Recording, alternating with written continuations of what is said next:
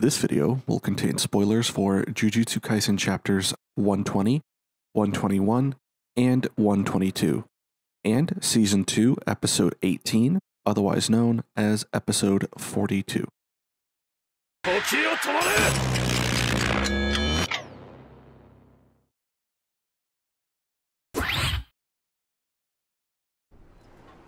So, the second season of Jujutsu Kaisen is experiencing a moral quandary and in this series, I'm going to be analyzing the story of the series as it airs and, as a manga reader, comparing the anime to the manga to see what they pulled over directly, what they modified or expanded, and what they just straight up removed. So let's begin with the 18th episode of Season 2 of Jujutsu Kaisen. First, I'll recap the plot and explain what chapters it covered.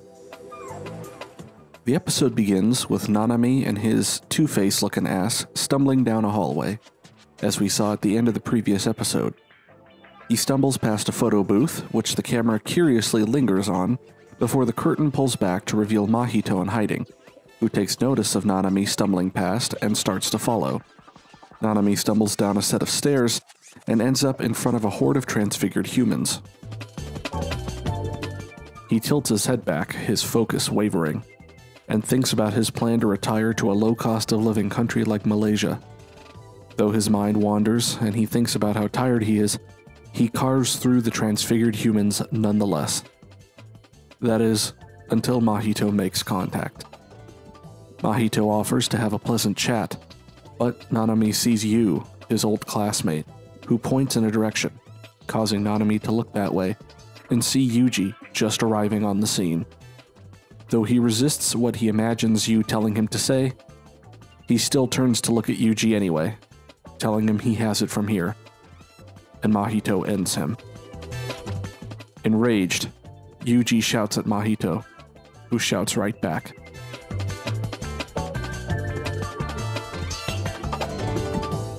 The battle begins as the dual soul sorcerer and the soul manipulator curse engage in hand to hand combat. Mahito once again demonstrates a new ability he's picked up, although this time we get an explanation. Soul multiplicity is an extension technique that allows Mahito to merge two or more souls together, whereas body repel is a use of that extension, exploiting the soul's rejection of each other alongside Mahito's injection of increased cursed energy to create an explosive reaction that Mahito can then direct at an enemy. This scuffle ends in Mahito giving Yuji a bitchin' scar across his face. He presses Mahito once again on his motives, but Mahito is beyond human understanding and decency. He stakes a claim that Yuji is just Mahito, which goes unexplained for now, and the two square up. Mahito plans to take advantage of Yuji's belief that he will continue transforming his limbs to attack, and instead plans to perform a simple stabbing attack with his fingers to pierce Yuji's heart like he thinks he's Wesker or something. Mahito makes his move, but only stabs the air where Yuji used to be. Yuji makes use of a martial arts technique known as joint release, where a combatant unlocks their knees to immediately fall to the ground without any starting movement. But Yuji also releases his hips and shoulders to position himself to attack from Mahito's feet before he has a chance to react. Yuji whips out a Taido martial arts manji kick to Mahito's face and presses the attack, but Mahito manages to transform his arm into a thorned whip and counterattack, pushing Yuji away. The two continue their battle through the station, with Mahito making use of delayed transfigurations to set traps for Yuji. Mahito shows off some more new moves, and Yuji takes note that he has more tricks up his sleeve this time around. Mahito plans to make use of transfigured humans as much as he is, not only to reduce risk to himself, but also to break Yuji's spirit. He engineers a situation with some randomly still alive humans nearby. Seriously, why are these dudes just chilling around here? Did they not notice all the crazy shit going on? Did they miss the fucking meteor hitting the ground outside or all the sound Sukuna pinballing Mahoraga around and turning most of Shibuya into sashimi must have made? To further fuck with Yuji, but really just manages to piss him off more. That being said, Mahito says he has one more card up his sleeve as well, and we cut to a flashback. Back before the curses split up in their game to try and find Yuji first, Mahito unveiled he had another new ability, and split a clone of himself off from his main body. He sent his clone above ground while sticking underground himself. At the end of the flashback, we cut back to the clone, confronting Nobara on the street. She recognizes Mahito instantly as the one who's been plaguing Yuji, and calls on her memories from the fight with Eso and Kechizu to try and regain the feeling that let her land a black flash. The two engage in a brief scuffle, with Nobara landing hits on Mahito's clone, but he laughs it off as it can only deal superficial damage to him. Mahito assumes, based on what Nobara said, that she's friends with Yuji, and states his plan to bring her dead body before Yuji to break him further. And the episode ends. With the recap out of the way, let's go over the basic points of the plot. 1. Nanami is confronted by Mahito, with Yuji arriving just in time for Nanami to offer him some final words of encouragement, and we finally say so long to the 7 3 sorcerer as he joins the hallowed halls of other fallen mentors like Ben Kenobi, and Rengoku Kyojuro. 2. Mahito and Yuji engage in their Duel of the Fates, with Mahito marking Yuji with a scar like the boy who lived, and making it clear part of his goal is to break Yuji's spirit as much as possible. 3. Mahito reveals the ability to split off into a clone, which he sends above ground. At the time the original Mahito is fighting Yuji, the clone confronts Nobara, intending to kill her to further break Yuji's spirit. Now let's get into some analysis. First, let's talk about Mahito's new skills. Clearly, he's been practicing, expanding the uses his technique has. Looking at soul multiplicity, we see as he's learned how to use his power to manipulate souls to attempt to force them to merge with one another. You could almost consider his ability to create a clone of himself the inversion of this ability to split a piece of his own soul off and form a body around it. Of course, doing this with other souls leads to them rejecting the merger, perhaps due to some inherent incompatibility with each other. By injecting even more cursed energy into this reaction to pump it up, it effectively becomes an explosive rejection, which he then directs towards his target as an attack. You can imagine it almost like a Diet Coke and Mentos reaction, to reference a preview from a recent episode. But if you could pump more force into it to make it just blow the whole bottle up altogether, then throw that at somebody like some kind of kid friendly Molotov cocktail. This relates back to the theory I talked about regarding Sukuna and his inexplicable ability to use fire. If you caught the official subtitles on release for episode 17, last week's episode, you might have noticed a particular cooking theme regarding the names they used for Sukuna's techniques. It has since been corrected to use the terms from the manga, which were not so obvious. The reason for this is due to the fact that some of the names of the abilities in Sukuna's technique use Japanese words that can either be interpreted as cooking terms or that obliquely reference the part of a shrine where food is prepared, for example. It has been a long standing theory in the community that Sukuna's technique is related to cooking somehow, which of course would make his ability to use fire make perfect sense, as heat is a central aspect of cooking. Again, this is another thing that even people current on the manga have not gotten an answer on as of yet. Connecting this to the theory I mentioned, some people have put stock in the idea that Sukuna's deeper insight into Jujutsu and cursed energy, due to his thousand year existence, allowed him to realize that you can expand your technique by way of interpretation, that growing your technique and skills involves focusing on the theme of your technique and stretching it to include other ideas that can be considered part of that theme. So, if Sukuna's technique is themed around cooking, he could stretch it to include fire as something he can conjure or manipulate as part of his technique. Further support for this theory can be seen if you look at other characters' techniques. For example, Megumi's Ten Shadows technique seems to be based around the Ten Shikigami primarily, but the word shadow is literally in the name, and shadows are used as the medium to summon the Shikigami. So he was able to stretch the interpretation of his technique to give him further control over the shadows themselves and use them as a storage space. If we look at Gojo's Limitless technique, you can see that over the years the members of his clan had already done a lot of work pushing the boundaries of what their technique could achieve.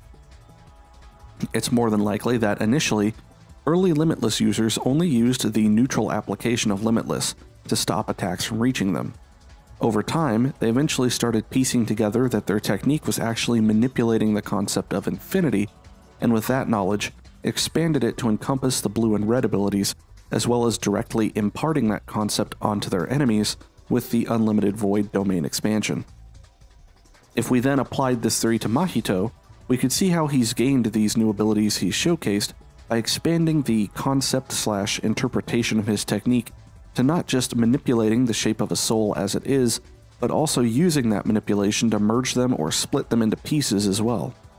Of course, going back to the theory as I mentioned it in the video for episode 16, a cursed spirit will probably ultimately be more restricted in how freely it can interpret its technique in comparison to a human, so as creative as he can try to get, Mahito will still be restricted to ideas surrounding the narrower concept of soul manipulation, rather than something more broad like cooking, infinity, or shadows. Next, I'm going to do a little reflection on Nanami. Nothing super in depth or anything, but I feel like it's pertinent to give him a little time to shine, given what happened in the episode.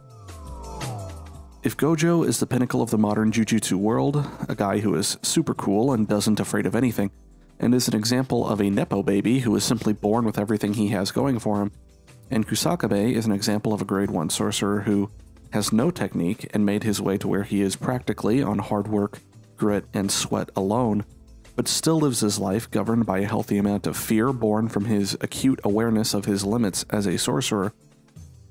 The Nanami showcases what a character at the midway point between Gojo and Kusakabe is like.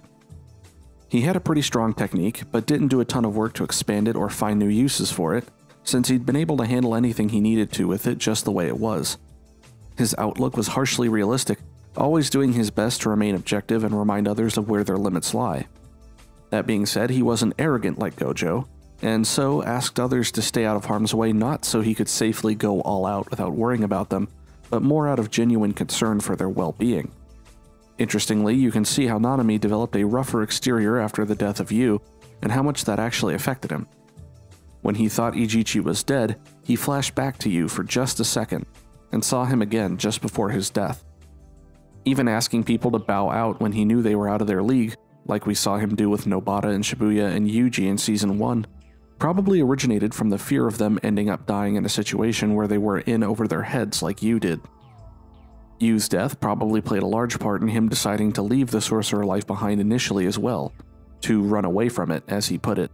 But ultimately, he only found dissatisfaction in working as a salaryman to make the rich richer and return to being a sorcerer to feel like he was actually making a positive difference to people's lives. This highlights his caring nature and just how much he truly was concerned for the good of others. However, he knew from Yu's death the pain that could come from the loss of those you're close to, as Miwa pointed out, so he tried to keep his distance from others for that reason. In his final moments, he thinks back to how he ran away and came back, mentioning that he finds his reasoning of finding the work worthwhile to be vague. He asks himself again why he came back, and that's when Yu points Yuji out to him. Personally, I interpret this moment to be Nanami's subconscious, or perhaps even Yu himself telling Nanami from beyond the grave that Yuji was his reason for coming back. Now, of course, Yuji wasn't even a sorcerer yet when he came back, so it wasn't Yuji in particular that brought Nanami back, but rather the feeling of his experience with Yu's death and the running away from the Jujutsu world that stemmed from it. He didn't want someone else to have to go through that like he did, and to experience the feeling of having lost his youth to it like he did. He thought that by coming back to the Jujutsu world, he could contribute and work to keep young sorcerers safe enough to protect them from having to go through what he did, and prevent more people like Yu from dying too early. That's how I interpret that scene. His final line, of course, is the symbolic passing of the torch from the previous generation to the next. It's effectively the same as All Might pointing at Midoriya and telling him he's next. Of course, because Jujutsu is much harsher and darker of a story, Nanami had to die after saying that, instead of sticking around to continue teaching and mentoring young sorcerers. Finally, let's go over the bonus pages between these chapters and the volume release of the manga. After chapter 120, we get a page from Akutami addressing Gojo's technique, and how, with the airing of the anime, this volume came out in January 2021 in Japan, not long after the anime first premiered. He won't be able to half ass his explanations of Gojo's technique any further.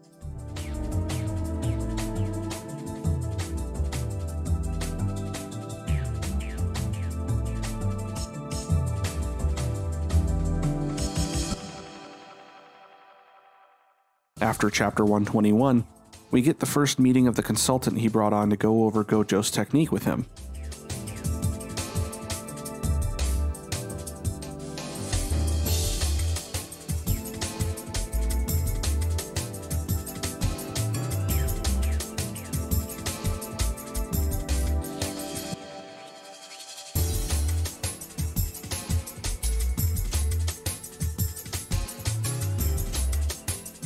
And after chapter 122, we get an explanation that Mahoraga sent Sukuna outside the curtain in their fight, but Akutami left that detail out of the drawing since it didn't really matter, which I believe the animation team just straight up omitted as well in the last episode, probably for the same reason.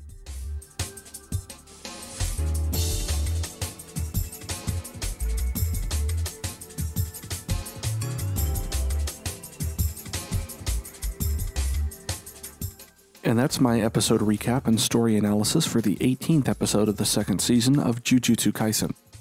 Make sure to subscribe and turn on bell notifications if you want to be here as soon as possible each week, as I put out new videos for each episode as it airs. And feel free to drop a comment with suggestions as to other videos you might like to see, such as character analysis videos or explanations. Thanks for watching.